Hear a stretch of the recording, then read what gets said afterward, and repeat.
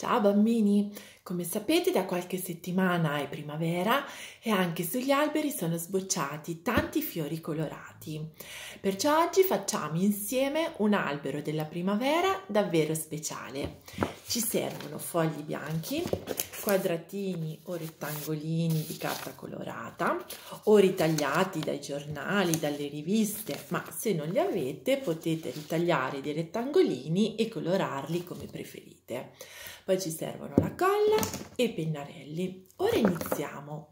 Per prima cosa realizziamo il nostro albero e sapete come facciamo a farlo? Con il nostro braccio. Prendete un foglio bianco e tracciate la sagoma di una parte del vostro braccio e poi di tutta la mano e poi la colorate di marrone.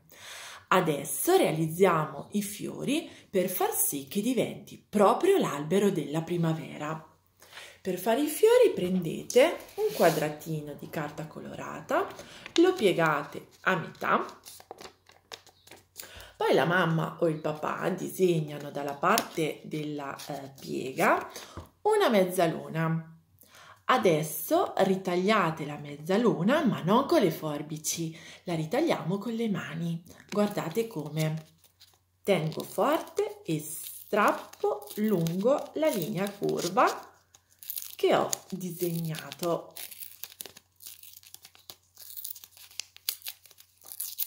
Ecco qui, potete aprirla e guardate cosa otteniamo, un cerchio.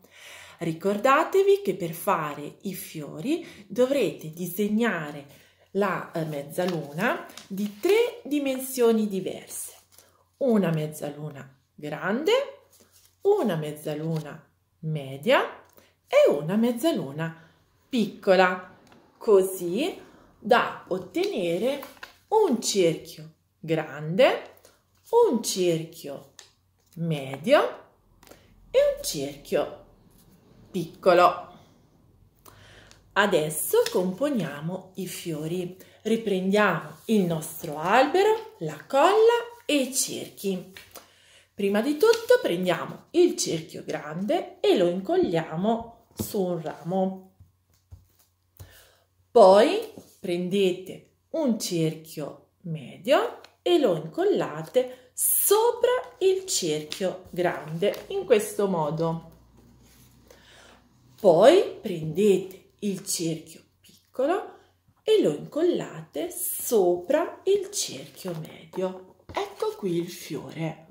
Cerchio grande, cerchio medio e cerchio piccolo. E poi continuate a fare gli altri fiori in questo modo fino a quando l'albero sarà pieno di fiori. Come vedete io ho fatto anche la chioma.